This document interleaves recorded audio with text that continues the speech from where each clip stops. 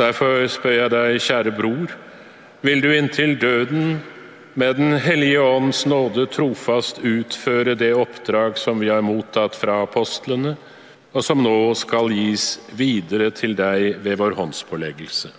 Ja, det vil jeg.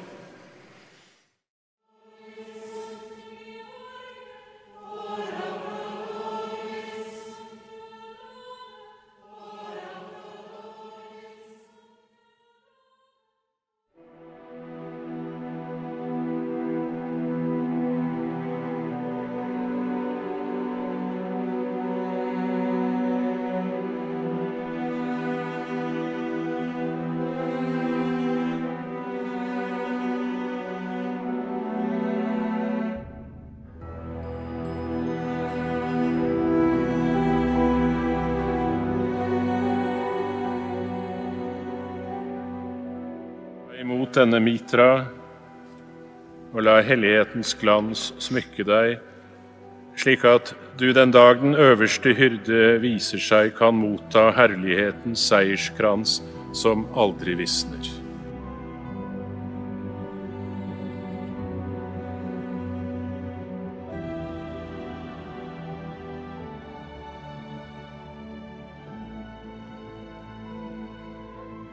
Ta imot denne stav, tegnet på ditt kall som hyrde, og våk over den jord der Den hellige ånd har satt deg til å styre som biskop i Guds kirke.